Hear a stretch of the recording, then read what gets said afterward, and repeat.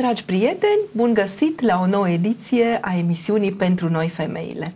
Sunt Rodica Baciu și am bucuria să discutăm astăzi împreună cu invitatele noastre despre probleme uh, întâmpinate de multe femei din România și despre modul în care uh, pot fi rezolvate aceste probleme, aceste răni interioare prin Harul lui Dumnezeu. Alături de mine în studio se află doamna Aurica Laurențiu, director la Fundația Mater și psiholog, uh, și domnișoara Adela Butnar, consilier de tineret și asistent social al Fundației Mater. Fundația Mater din Târgu Mureș este deosebit de activă în această perioadă în lupta pentru viață. Și aș vrea să facem o mică recapitulare a nevoilor sociale pe care Fundația Mater, prin activitățile desfășurate, dorește să le împlinească. Mm, Fundația Mater um, desfășoară activități de promovare a vieții încă din momentul concepției, nevoile care încearcă să le întâmpine, nevoi de informare și conștientizare a populației cu privire la um, avort, implicațiile avortului, dar nu doar, nu vrem să rămânem doar la stadiul de informare și conștientizare, ci dorim să oferim și sprijin celor care trec prin experiențe uh, neplăcute, experiențe legate de avort, Uh, sau persoane tinere în criză de sarcină și nu doar, ci persoane care au diferite probleme, experiențe neplăcute și au nevoie de ajutor. Um, de ce ați ales acest domeniu? Care este uh, ponderea acestor probleme? Pentru că oamenii au și probleme materiale și alte feluri. Uh, cum se află România la capitolul avort? Din păcate, suntem și noi primii la ceva, dar nu la ceva bun. Uh, în uh, Europa, România este pe primul loc. În anul 2012 era pe primul loc conform uh, Organizației Mondiale a Sănătății. o statistică arăta că în ultimele două decenii unul din cinci români au fost avortați Uh, și, din păcate, avorturile în rândul minorelor este în creștere. În Târgu Mureș, de exemplu, în anul 2011 erau cam 400 de avorturi înregistrate, în anul 2012 erau peste 500 de avorturi înregistrate în rândul minorelor, iar în rândul minorelor sub 15 ani, anul, în ultimii 2 ani au fost înregistrate peste 70 de avorturi. Eu cred că aceasta nu este statistica reală, deoarece există foarte multe avorturi nedeclarate în rândul tinerilor, al adolescenților, dar uh, și în rândul uh, adulților. Foarte multe cupluri renunță la o sarcină, deoarece consideră că vine într-un moment nepotrivit. Și există multe avorturi care sunt provocate și care au loc înainte, înainte de realizarea acelei nidații în, uh, în uh, membrana uterină, despre aceste avorturi nu se vorbește, ținând cont de faptul că se consideră că viața începe din momentul concepției, există acele avorturi uh, uh, spon, nu spontane, ci sunt provocate. Permanente, sunt provocate, cu... da, prin uh, uh, medicația de urgență, la care apelează foarte mulți tineri, fiind speriați de uh, eventualitatea în care ar putea să rezultă sarcină în urma relației lor. Și despre aceste avorturi nu se vorbește. Mai există un avort, acela provocat de sterilet și de medicamentația pentru contracepție, care face ca în primele două săptămâni o sarcină să fie eliminată și se consideră că este un avort și acesta. Deci steriletul sau spirala atât de cunoscută în popor ca fiind uh, metoda contraceptivă salvatoare, nu ți se întâmplă nimic, medicii sunt atât de drăguți să le ofere pacienților uh, am auzit și eu pe la cabinete, uh, tot felul de spirale din materiale uh, care nu produc reacții secundare și să le asigure că nu vor face un cancer în urma purtării acelui sterilet, acelui dispozitiv intrauterin nimeni nu le spune că ele, de fapt, produc un avort probabil în fiecare lună. Da, este adevărat. Este adevărat uh, ceea ce ai afirmat. Însă, se știe că steriletul, se cunoaște în medicală, faptul că steriletul împiedică pătrunderea spermatozoizilor în uh, cavitatea intrauterină, ca apoi pe calea trompelor să ajungă la nivelul ovarelor. În această situație, uh, discutăm despre prevenție Însă, steriletul are și rolul de a elimina ovulul fecundat, care încă nu s-a nidat. Deci încă n-a avut loc nidația, n-a avut loc acel, acea implantare a uh, oului zigot în membrana uterină.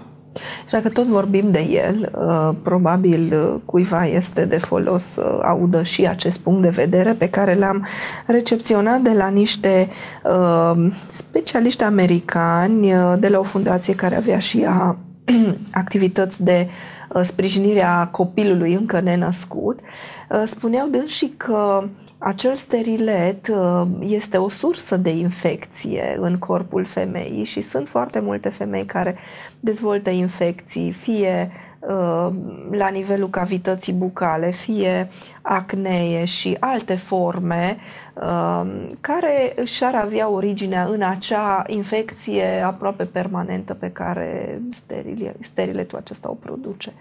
Uh, la fel, ca și în cazul precedent, în situația în care organismul femeii încă nu există o infecție, iar steriletul este totuși implantat, probabil nu va dezvolta infecție uh, într-o perioadă scurtă de timp, dar este foarte important ca ea să facă des controle medicale pentru a se putea constata eventuala infecție. În schimb, situația în care femeia respectivă are o infecție, indiferent dacă discutăm despre infecții la nivelul organelor genitale sau într-o altă, cu o altă locație în corp, uh, acea infecție se poate transmite poate pe cale sanguină la uh, nivel uterin și se poate, se poate produce acea îmbolnăvire. Da, este, este într-adevăr o sursă de infecție. Poate fi și dacă tot am vorbit uh, despre sterile, am putea să tragem o concluzie și apoi trecem la, altă, la o altă parte. Uh, cum putem să-l catalogăm din punct de vedere moral și spiritual, această metodă contraceptivă, care medicii chiar o numesc metodă contraceptivă. e situație, foarte legală. Da, din punct de vedere medical, se consideră că viața începe în momentul în care are loc această nidație despre care vorbeam și că doar din acest moment putem vorbi despre un avort. Probabil medicii consideră că nu, nu se poate vorbi despre un avort în această fază. În schimb, dacă ținem cont de, uh, de uh, ceea ce se transmite prin uh, Cuvântul lui Dumnezeu, dogmele religioase, condamnă, condamnă avortul indiferent în ce faze ar avea loc, fie în prima zi după concepție, fie în a doua sau treia săptămână, fie la uh, 6 săptămâni sau 8 săptămâni, fie după aceea. Deci, din punct de vedere al Scripturii, nu considerăm această metodă una eligibilă, una care, cu care Dumnezeu este de acord. Nu, din nefericire, uh, cu adevărat se produce acel avort și este considerată ca fiind o modalitate de, de avort, o, o metodă abortivă. în care se avortivă, da, și nu contraceptivă. Uh, haideți să trecem un pic uh, la ce se întâmplă după avort. Pentru că, așa cum spunea Adela, numărul este mare, oficial, dar cel neoficial este și mai mare și să uh, abordăm partea aceasta după. Vorbeam despre consecințele fizice, consecințele uh, psihoemoționale, dar și acele spirituale, acele spirituale emoționale. Nu știu dacă e nevoie să le reamintim pe cele fizice, pentru că am vorbit pe larg despre aceasta. Am putea pe scurt să le enumerăm doar, deci pe cele fizice. Bănuiesc da. că și sunt mai cunoscute de către publicul larg, dar le putem enumera. Da, ar fi consecințele fizice imediate, care ar consta în um, hemoragii abundente, hemoragii uterine, perforație uterină, lezarea organelor uh, învecinate, embolism, um, infecții, infecții, transmiterea infecțiilor, care pot ajunge la nivelul uterului, la nivelul ovarelor, a trompelor uterine. Și de aici, um, uh, pe fond, chiar uh, tulburări hormonale care pot să apară în organismul femeii. Am, am, am putea aminti consecințele fizice tardive Acestea ar fi sterilitatea, sterilitatea în, moment, în situația în care se intervine după prima sarcină. Apoi, uh, ar putea să apară acele tulburări hormonale care ar avea ca și rezultat uh, modificări ale uh, modificări la nivelul organismului. O femeie poate deveni mult mai susceptibilă la îmbolnăviri chiar scade și imunitatea organismului. Uh, vorbim despre, și despre decese. Uh, s-a constatat că pot să aibă loc uh, niciuna sau două decese la 100.000 de, de cazuri de, de avort. Acestea intervenind din cauza complicațiilor uh, uh, după anestezie sau uh, după embolism sau cauze provocate de embolism. Uh, Putem vorbi și de o uh, susceptibilitate crescută la dezvoltarea cancerului de col uterin și chiar a cancerului mamar. Este un aspect de, despre care se vorbește foarte rar, despre modificările care au loc la nivel uh, la nivelul psihicului, persoane care, care apelează la un avort. Uh, o, de cele mai multe ori, o persoană care, care efectuează un avort, care apelează la această metodă, de a-și uh, rezolva problema urgentă, poate dezvolta sindromul post-avort. Uh, ce s-ar putea înțelege prin acest sindrom? Uh, el reprezintă un ansamblu de modificări, de reacții emoționale și comportamentale pe care femeia le dezvoltă după ce s-a apelat la un avort Acestea pot să apară imediat după ce s-a uh, consumat uh, actul respectiv, fie după o perioadă mai scurtă sau mai lungă de timp. De multe ori pot să apară astfel de modificări după câțiva ani.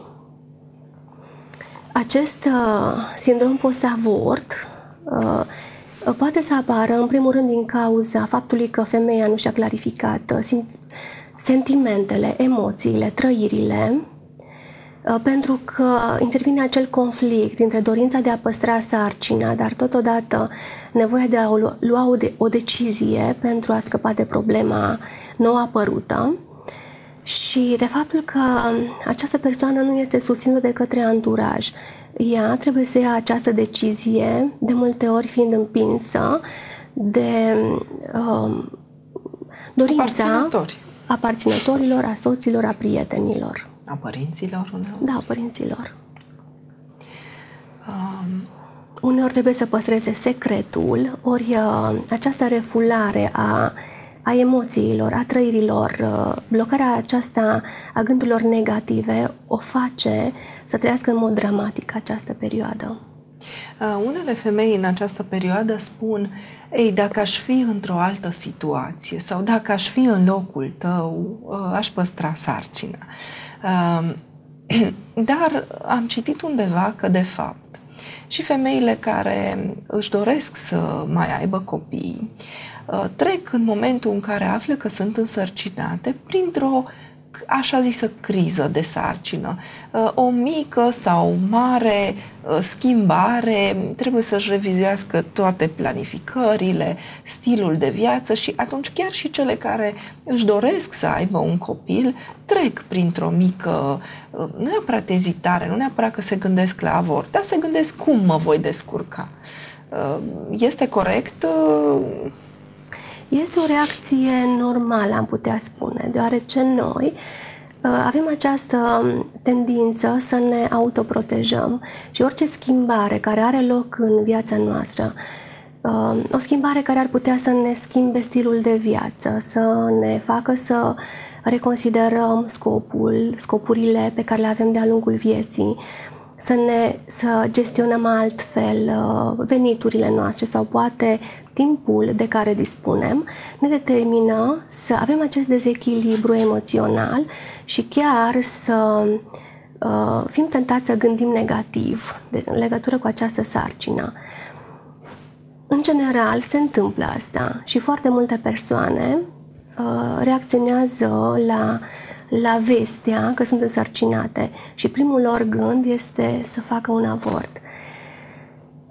O situația în care ele au timp, în care se întâmplă ca ele să, să se gândească, să mediteze la, la situația în care se află, la consecințele avortului, pe termen scurt sau lung, le va determina pe aceste doamne să aleagă de, de cele mai multe ori să păstreze sarcina. Însă nu întotdeauna se întâmplă asta. Cum se întâmplă în cazul a persoanelor foarte tinere pe care le întâlniți în școli? Ce reacții au dacă sunt care au trecut prin experiența unui avort sau... Din păcate, um, în fiecare liceu în care uh, mergem, întâlnim fete care au făcut avort. Nu trebuie să ne spună ele lucrul acesta, observăm după reacția lor când se vorbește despre avort, uh, când văd copilașii...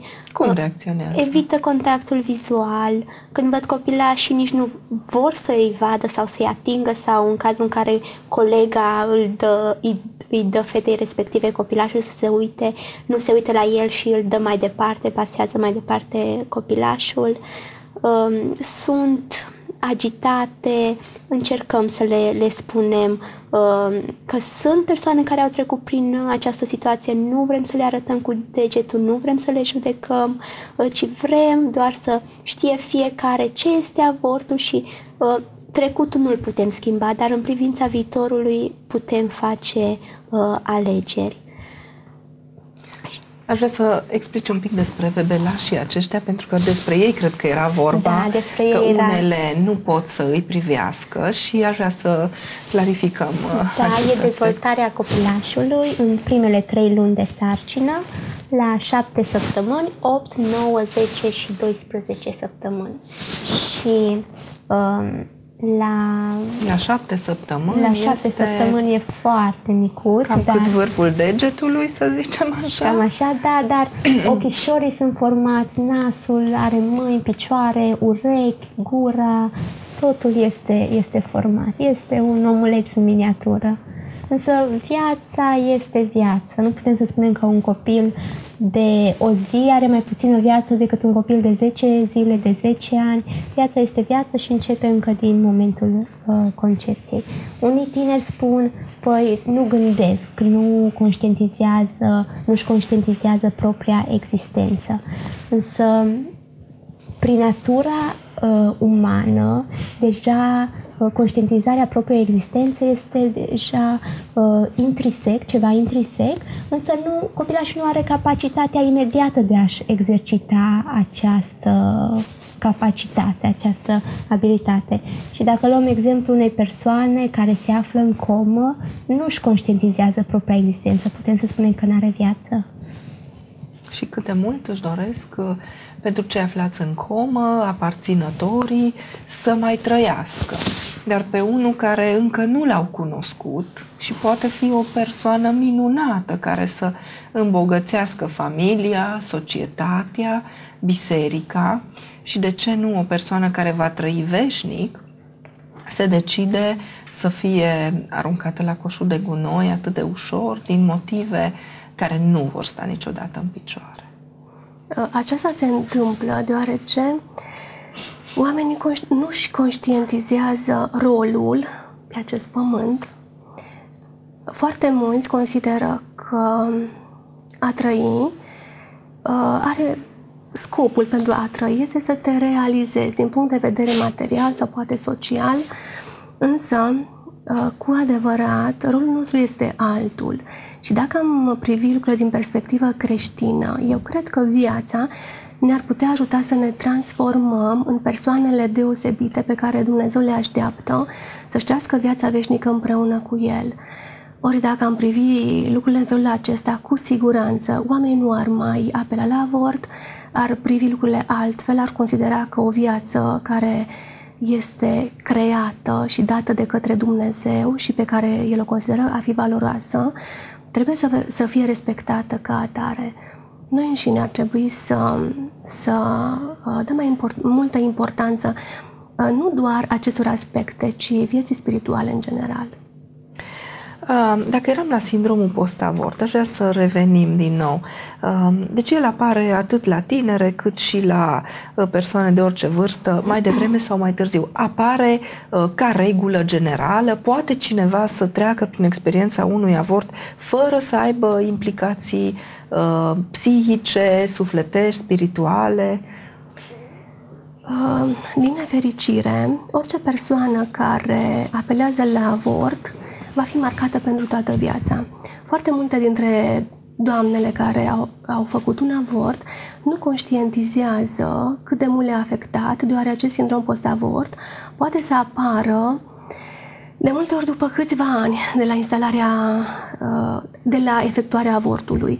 Și atunci nu fac legătura între trăirile pe care le au și faptul că au uh, comis un avort. Însă, Uh, trebuie să amintești acest aspect la fundație. Vin foarte multe persoane care apelează la sprijin pentru diverse probleme. Nu, în niciun caz nu vin pentru sindromul post-avort. Adică vin pentru consiliere. Da, da, în general vin pentru că acuză tristețe, atacuri de panică, uh, fobii și comportamente compulsive de multe ori și vor, vor să fie ajutate. În timpul uh, discuției pe care o avem, dorim să ajungem la cauză, cauza acestor uh, trăiri pe care le au și aceste emoții, ajungem să constatăm că, de fapt, în trecut, poate în trecutul îndepărtat, unele persoane ne vorbesc despre avorturi uh, pe care le-au efectuat în urmă cu 20 sau 30 de ani.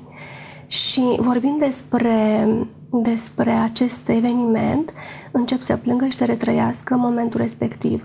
Uh, de cele mai multe ori, în astfel de situații, emoțiile acelea și trăirile pe care le-au avut în timpul avortului revin, de multe ori cu o putere la fel de mare ca și momentul acela.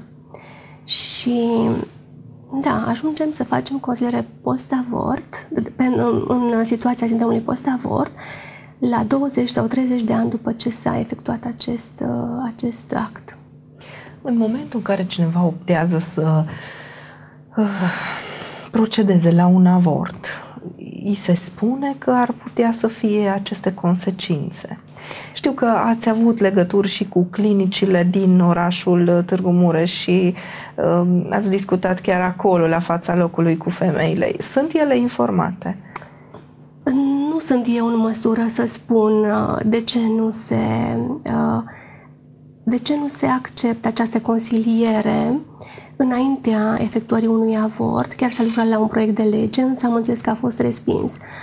Însă uh, știm cu siguranță că asta nu se întâmplă. Tocmai de aceea persoanele care fac un avort ajung să dezvolte acest sindrom post-avort, deoarece nimeni nu vorbește despre despre situația dramatică prin care trec aceste persoane, despre șocul emoțional, despre șocul fiziologic prin care trec, despre șocul uh, uh, emoțional, em, spiritual-emoțional pe care îl au și o consiliere corectă din acest punct de vedere ar putea să le determine să ia decizia corectă. Adică să apeleze la această consiliere pentru a putea ajunge la acea la acea liniște interioară de care au nevoie. Se vorbește foarte mult despre avort, dar se vorbește mai puțin despre starea acestei persoane, despre trăirile pe care acestea le au. Uh, poate că ar fi important ca în cursul acestor activități de informare să le fie uh, arătate filme documentare referitoare la, la uh, avortul care, care se comite și la ceea ce se întâmplă în momentul în care o persoană trece printr-o astfel de experiență și la, la implicațiile emoționale, psihologice, spirituale pe care acesta le are în viața femeii. Asta ar fi bine înainte. Să... Înainte, da. Uh, eu te întrerup un pic și vreau să, să-mi spui dacă considerați că nu-i prea mult ceea ce întreb acum. Din câte știu, chiar voi sau colegii de ale voastre a trebuit să oprească vizitele la clinice de ginecologie din uh, oraș datorită deranjului pe care îl produceați uh, da. acestor uh, tratamente, adică avorturi. Da, este adevărat. A existat o activitate, deci ne-am implicat într-o activitate de consiliere, în special pentru a le conștiința pe aceste persoane de, consecințe, de consecințele avortului și am dorit să consiliem persoanele care erau deja internate pentru a li se face avortul. Însă, constatând că aceste persoane cu adevărat se gândesc înaintea, înainte de a lua decizia unui avort, din nefericire, ni s-a interzis să mai intrăm în uh, spitalul respectiv. Nu ni s-a spus uh, care sunt motivele, însă ne-a trebuit să ne conformăm și în situația aceasta încercăm să ajungem la aceste persoane prin alte, altfel, prin alte modalități. Um, acum mă gândesc cât de potrivit ar fi ca uh, creștini autentici, născuți din nou, să fie uh, cât mai numeroși în rândurile personalului medical. Uh, asistente, medici, uh, uh, specialiști sunt foarte doriți și bineveniți pentru a ajuta la schimbarea situației.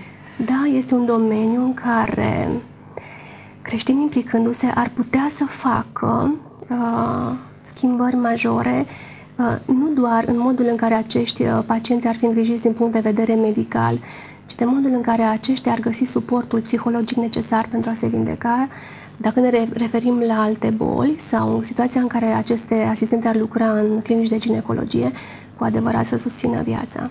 Sau asta în situația în care ar putea să facă această consiliere uh, înainte de efectuarea avortului. Ar dar fi și cea mai aceea. credibilă persoană, dacă îi spune medicul. Da, dar rolul lor este foarte important chiar și după aceea, pentru că o persoană, pentru a putea funcționa normal în viața de zi cu zi, are nevoie să se refacă, are nevoie să ajungă să aibă acea vindecare interioară de care are, are atâta nevoie. Ori un sprijin, un astfel de sprijin cu adevărat ar ajuta. Uh, până nu vorbim de vindecare, foarte pe scurt, aș vrea să întreb, nu știu dacă în clinicile de psihiatrie, pentru că foarte mulți ajung acolo, neștiind uh, despre consiliere, nefiind foarte mulți consilieri, oamenii ajung într-o stare foarte agravată și ajung la psihiatru. Acolo se fac tot felul de tratamente, până la șocuri, medicație, dar nu știu cât de mult intră psihiatrii să deschidă cutia Pandorei și să vadă ce în sufletul unei astfel de femei, să ajungă la concluzia la care tu ai ajuns, că probabil cu mulți ani în urmă a fost o astfel de experiență. Da. Uh, medicii psihiatrii uh, consideră că, prim, că Uh, rolul lor este foarte important, în principal, pentru a interveni în situația de criză. Atunci când o persoană se internează într-o clinică de psihiatrie, trece printr-o perioadă de criză, uh, depresia pe care o trăiește, starea de anxietate, uh, dezechilibrul emoțional pe care îl are, le determină să nu mai funcționeze corect și atunci, de cele mai multe ori, apelează la sprijinul unui medic psihiatru și se intervine de cele mai multe ori medicamentos. Medicația este importantă în această perioadă a vieții, deoarece ameliorează uh, emoțiile acelea și trăirile și ajută persoana să-și să poată să-și se vadă trăind, să-și dorească să mai uh, trăiască. Dar este important ca această medicație să nu se prelungească pe o perioadă foarte îndelungată, deoarece uh, orice medicament astfel de medicament poate să determine apariția unei dependențe. Sigur, se poate renunța și la această medicație. Vin persoane care deja au un tratamentul medicamentos, o anumită schemă de tratament și se, uh, pe măsura în, în, în măsura în care ajungem să avem și rezultate în urma consilierii, se poate renunța, dar treptat, la doza de medicamente pe care o primesc. În clinicile de psihiatrie există și acei psihologi care colaborează cu medicii psihiatri și ar trebui să ajungă să determine care este cauza acestor trăiri. Nu știu, nu am date necesare ca să pot să afirm că s-a ajuns să se determine, să se stabilească faptul că o astfel de criză care îi face pe pacient să apeleze la medicul psihiatru ar fi situația unui avort. Nu am astfel de date, dar uh, știu că acolo se lucrează cu profesionalism și în măsura în care persoana se deschide și vorbește despre problemele sale, ar putea să ajungă la a stabili de fapt care este cauza. Odată stabilită cauza, um, așa cum ai afirmat mai devreme, că vin persoane pentru diferite motive și se ajunge la adevărata cauză. Uh, în ce constă tratamentul? Ce, ce le oferiți? Te referi la intervenția în cazul sindromului post-avort sau în general? Da, da. Cum, uh, cum facem uh, consilieria sindromului post-avort, pe care unii, așa cum am vorbit, greu e să-l identifice pentru că nu le spune nimeni despre el. Aș vrea să vorbesc puțin despre aceste simptome, să le enumăr. A, ca să ne identificăm ca, prima da, dată. De ce, vă, de ce spun acest lucru? Deoarece uh, uh, aceste schimbări emoționale care au loc determină apoi și schimbări comportamentale și este foarte important ca persoana să fie abordată uh, din punct de vedere holistic, dacă se poate, adică trup, suflet și duh. Ar fi, foarte, ar fi binevenită chiar și consilierea spirituală și sperăm să putem să sprijinim uh, și în acest punct de vedere persoanele care trec prin astfel de probleme. Foarte multe persoane au, vorbeam despre acea depresie, despre atacuri de panică, despre frici, fobii prin care trec, despre faptul că unele persoane uh, uh, doresc să recupereze, să-și răscumpere într-un fel uh, greșeala pe care au uh, făcut-o Uh, dorind să, să aibă o altă sarcină, ori uh, astfel de persoane realizează la un moment dat că fiecare individ este... Să, să facă fapte bune. Este unic. Unii am înțeles că înfiază da. copii. Da. Da, unii se tem chiar de pedeapsa pe care o pot primi din partea lui Dumnezeu și atunci uh, încearcă să adere la tot felul de activități caritabile. Unii, unele persoane uh, apelează la una din cele două extreme, mă refer la tulburări de alimentar a nutriției, fie devin bulimice și uh, în, în felul acesta există acea, acel uh, comportament uh, pentru autoflagelare. Pur și simplu uneori își doresc să se îngrașe ca să nu mai fie atrăgătoare și în felul acesta se pedepsesc pentru greșeala lor. Altele uh, ajung să, să în cealaltă extremă și dezvoltă uh, anorexia nervoasă. Este cealaltă extremă când nu mănâncă, pedepsindu-se la fel. Unele persoane au tentative de suicid și la clinicile de psihiatrie, în momentul în care, da, în momentul în care persoana respectivă ajunge acolo, imediat după efectuarea unui avort, medicul poate să constate faptul că adevărata cauză este avortul și se poate interveni în acest sens. Unele se implică în relații multiple, tocmai pentru că au sentimentul pierderii propriei valori, scade foarte mult stima de sine și consideră că o astfel de problemă, o astfel, un astfel de comportament deja nu mai este o problemă din moment ce sunt niște persoane atât de, de odioase cât au fost valoare. Uh, capabile să-și omoare propriul uh, copil. Ar fi multe de vorbit despre acest sindrom post-avort. Ideea este că Uh, se trăiește în mod dramatic, de altfel face parte dintr-un uh, diagnostic mai amplu, din tulburarea de stres post-traumatic. Persoana, în momentul în care uh, dezvoltă, începe să dezvolte acest sindrom, trăiește aceleași emoții pe care le trăiește o persoană care a avut un accident rutier, spre exemplu. Asta ca să poată face o, o, comparație. Da, o comparație și o idee despre ce discutăm noi astăzi. De altfel, sunt marcați chiar și aceia care se implică în mod direct la efectuarea avortului. asistentele sunt marcate, medicii sunt marcați, de multe ori copiii din familii, uh, mai ales cei, în special cei care uh, au fost conștienți că în familia lor urmează să se, să se nască un copil. Aceasta va da naștere unei adevărate crize în viața copilului care trăiește, care este în viață.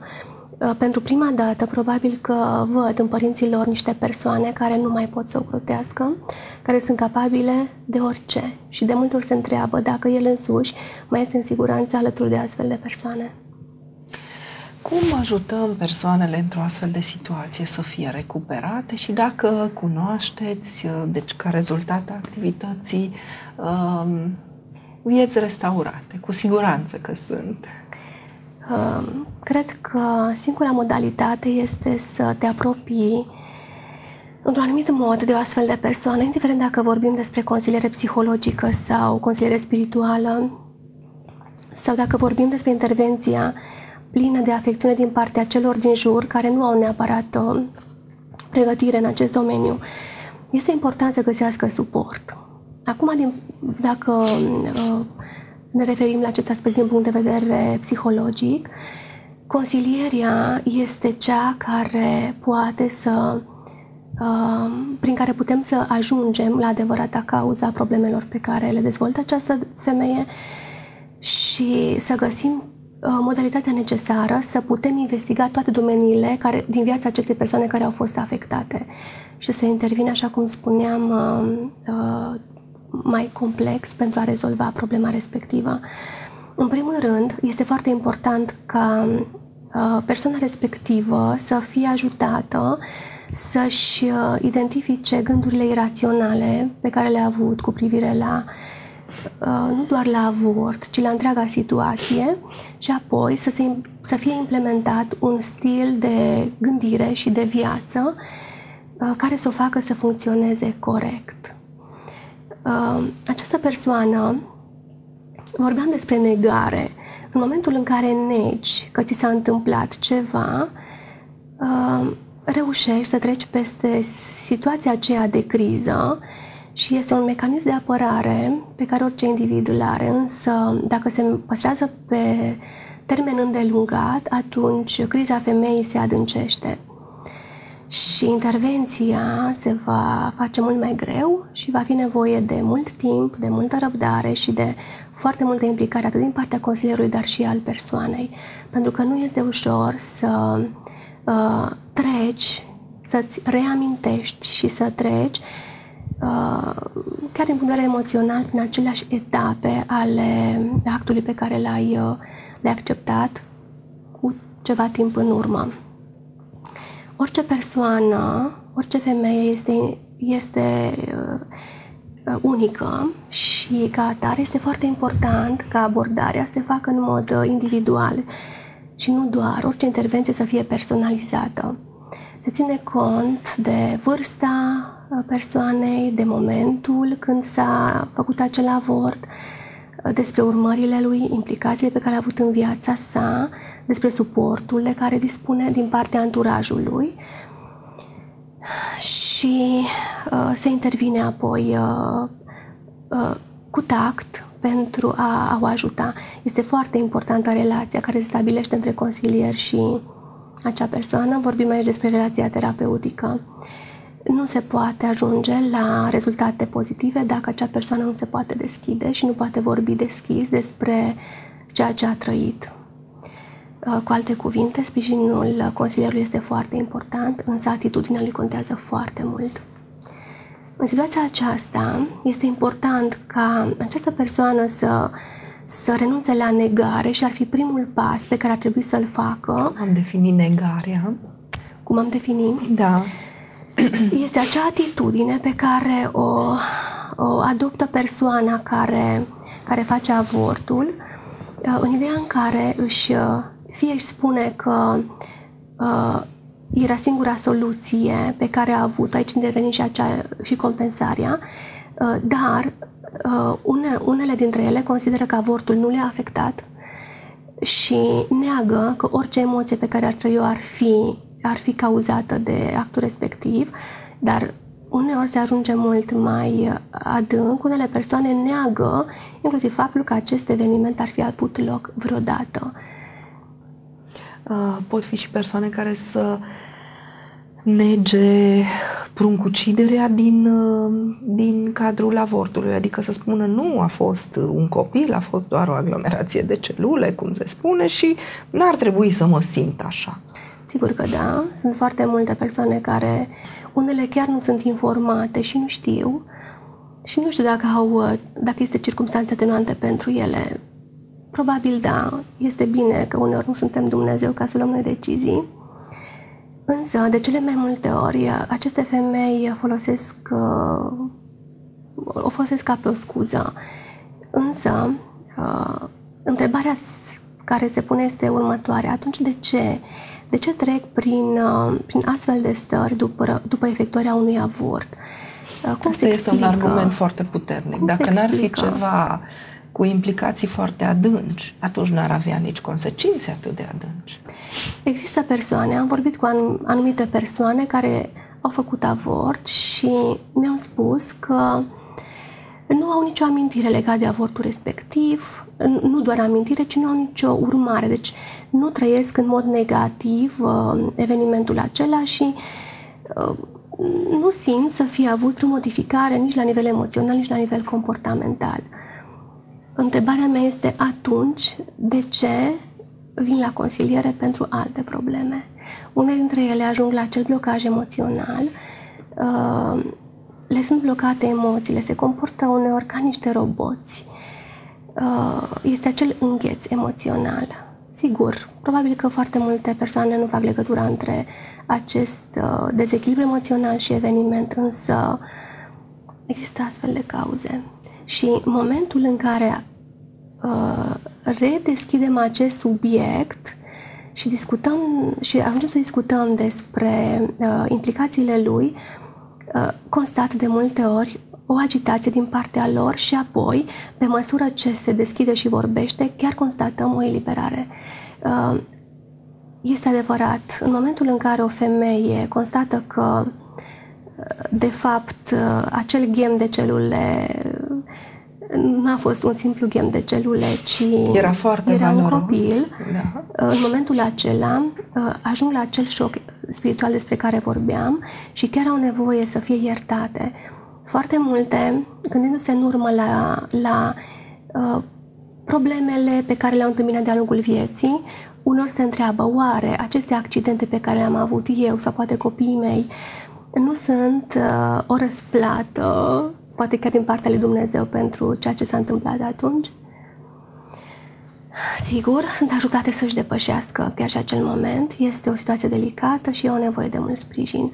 Odată ce încep și, poți să, și reușești să pătunzi atât de adânc în uh, viața acestor femei, este foarte important să fii acolo în permanență lângă aceste persoane până când uh, se va ajunge Poate vindecare este prea mult spus, dar cel puțin la cicatrizarea rănilor. Eu chiar cred într-o vindecare totală și reală atunci când Dumnezeu se implică și atunci când persoana se deschide larg pentru ca Dumnezeu să intre în viața lor. Dar uh, niciodată amintirea aceea nu se va șterge. De acest punct de vedere, chiar cred că nu există o vindecare totală. Dar totuși putem vorbi de o restaurare și de o funcționare normală a persoanei, adică uh, dorința de a trăi și de a uh, își continua viața de familie, viața socială, poate să fie uh, mult îmbunătățită în urma consilierii. Da, așa este. Există acești pași despre care vorbeam și aș vrea să iei număr. În primul rând, vor trebui să renunțe la, la această negare, apoi să-și reconsidere sentimentele și trăirile pe care le-au avut și le au referitor la uh, avort. Este foarte important să-și trăiască emoția.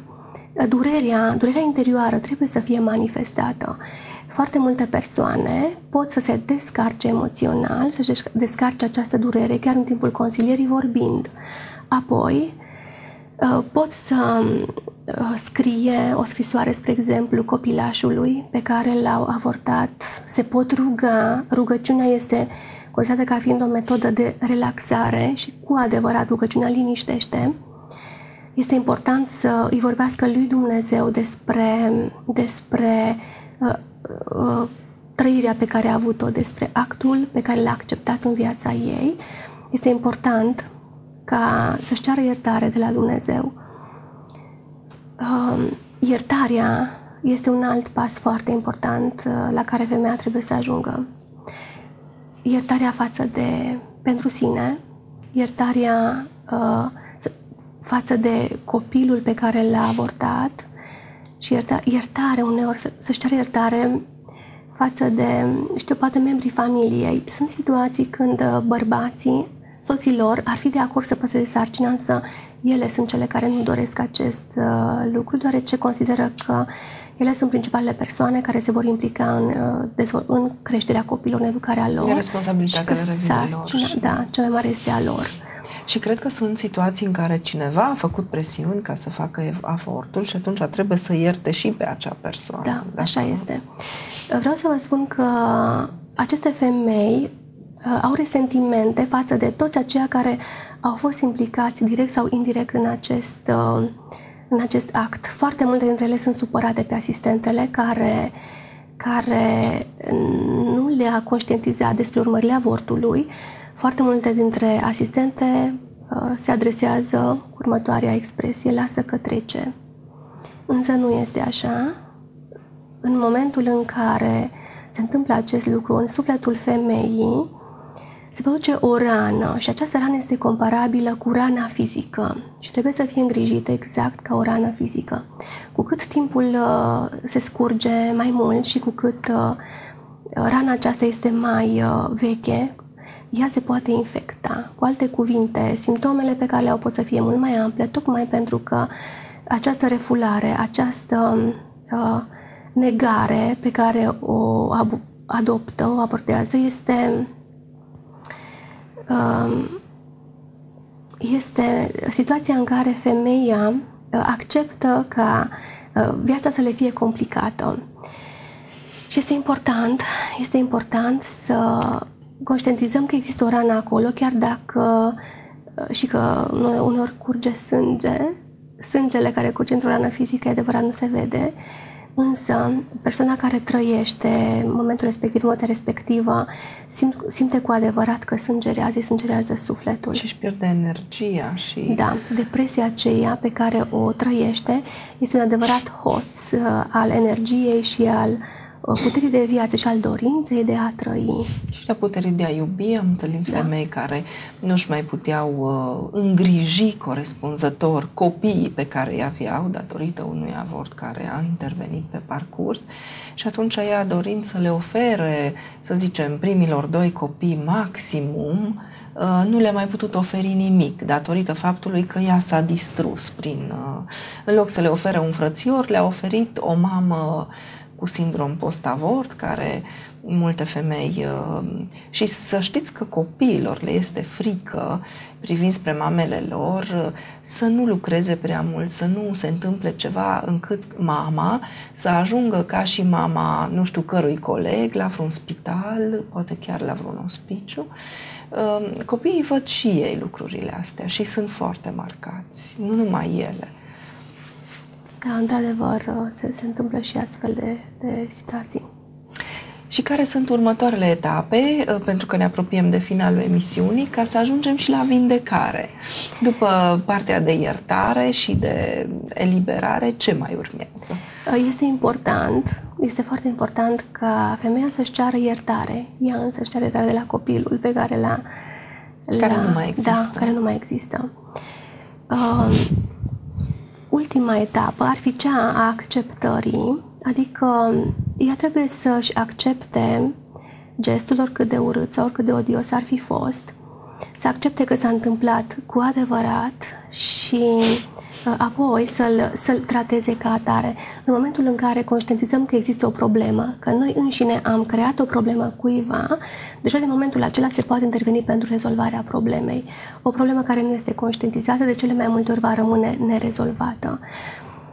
Și apoi ar fi foarte important dacă s-ar putea interveni din punct de vedere spiritual Foarte multe persoane care au venit la consiliere, este adevărat, mult mai multe cele care au suit un avort spontan, s-au liniștit în momentul în care au aflat că uh, acea mică ființă se află într-un loc unde le este bine, unde sunt îngrijiți poate chiar mai bine decât i-ar fi îngrijit propria mamă. Ori această perspectivă cu adevărat le liniștește. Este o bună terapie pentru a rezolva o problemă post-avort. Și uh, sunt cazuri rezolvate cu succes. Uh, da, vreau să vă spun că sunt și astfel de situații. E adevărat, după ce persoana, femeia se liniștește și reușește să treacă peste acest dezechilibru emoțional și chiar să ajungă la acea stare de liniște interioară și apoi să considere că viața aceasta are un sens, are un scop și că merită să fie trăită, va merge în viața ei obișnuită, în rutina zilnică și apoi, de cele mai multe ori, ne întâlnim așa întâmplător. Dar sunt astfel de situații. Sigur, nu se pot da nume, deoarece consilierea este, este confidențială. confidențială. Tocmai de aceea nici nu putem să facem poze. Foarte multe persoane vor să vadă poze de la consiliere sau cu bebelușii care sunt păstrați sarcina este păstrată și apoi ajung să se nască. Însă nu putem face asta fără acordul lor. Și din nefericire, în România încă nu este foarte bine implementată această cultură a consilierii. Foarte multe persoane consideră că momentul în care apelează la consilierea unui, unui psiholog sau chiar a unui medic psihiatru, uh, trebuie acceptă ea însăși că este, că are o problemă psihică. Este vorba despre nebunie și atunci de teama că vor fi etichetate de către societate. O persoană anormală. Da. da. Preferă uneori fie să nu vină la consiliere, alte ori să nu se afle că au trecut pe acolo, dar uh, este de înțeles comportamentul lor și uh, respectăm decizia lor. Vă mulțumesc mult pentru această uh, parcurgere a pașilor de recuperare și cred că România fiind campioană la avorturi uh, în trecut și în prezent, avem foarte multe femei care se confruntă cu această situație. Și dați-mi voie să invit pe telespectatorii noștri de oriunde s-ar găsi ei să uh, își prioritizeze ca activitate, ca preocupare această luptă pentru viață, pentru restaurarea națiunii. Eu cred că fiecare putem fi un consilier.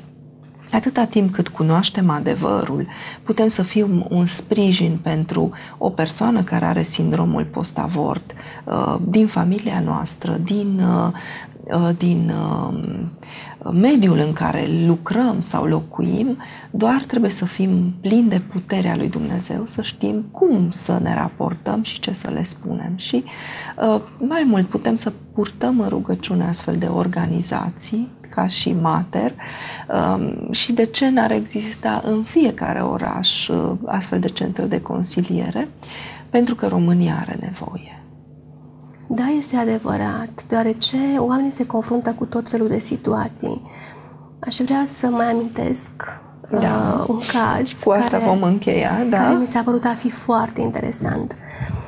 Noi ne implicăm și într-o activitate uh, care susține persoanele care au avut cancer și vreau să spun că s-a prezentat o astfel de persoană care a constatat că este însărcinată. O persoană care a avut o operație Uh, la sân a avut, avusese cancer mamar, dar pentru că s-a depistat în fază incipientă, nu a fost nevoie să-i se facă o mastectomie. Ei, în momentul în care a aflat că este, însăr- că este însărcinată, s-a pus problema uh, cât de mult există indicație din punct de vedere medical să se facă acest avort. Și atunci am, am sfătuit-o să consulte medicii, uh, medicul oncolog, medicul ginecolog, Uh, dacă se poate și cel internist, pentru a stabili care este riscul uh, ca această persoană să redezvolte uh, cancerul, ca acest cancer să reapară sau cât de mult o va afecta din punct de vedere fizic. Deoarece ea nu și-ar fi dorit să facă avort. Mai ales discutând despre implicații și ar fi dorit foarte mult să păstreze sarcina și ar fi dorit să facă acest gest și ca un semn de mulțumire față de faptul că soțul ei s-a schimb, se schimbase foarte mult în ultima perioadă. Devenise mult mai iubitor, mult mai uh, tandru, era mult mai implicat în viața familiei și ea considera că ar fi un dar nemai deosebit uh, pentru a-i putea mulțumi soțului ei. Medicii toți i-au spus că uh, poate să păstreze sarcina, riscul să uh, recidiveze cancerul este foarte mic, 6, 7, 8%. Deci iată care sunt statisticile totuși. Această persoană a păstrat sarcina, s-a dezvoltat și la ora actuală familia lor a crescut și sunt o familie fericită. Slavă lui Dumnezeu pentru, pentru aceste lucruri. Încă o dată vă mulțumesc și dacă prin toată activitatea pe care o desfășurați doar o persoană va fi salvată, uh, eu cred că s-a meritat. Dar uh, Dumnezeu nu întotdeauna ne lasă să aflăm toate rezultatele și sunt sigură că sunt multe, multe persoane pe care noi nici nu le bănuim acum, care au fost salvate și care au fost restaurate. Vă doresc mult succes în continuare și uh, aștept să ne mai revedem ca să vedem și alte aspecte legate de uh, viață și de protecția ei. Vă mulțumesc! Mulțumesc! Dragi telespectatori, este momentul să ne luăm rămas bun și așa cum am făcut deja mai devreme, vă invit să ne alăturăm și noi fiecare din uh, situația în care suntem, acestei lupte pentru viață, uh, acestei lupte împotriva duhurilor întunericului care guvernează România de multă vreme, uh, România în care s-au făcut multe avorturi, în care este multă suferință și uh, este o explicație logică pentru starea de uh, criză economică care uh, s-a instalat aici.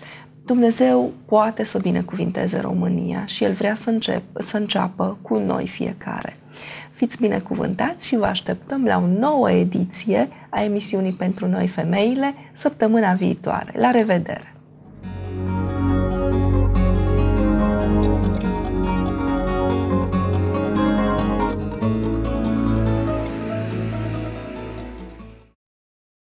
O emisiune sponsorizată de Matero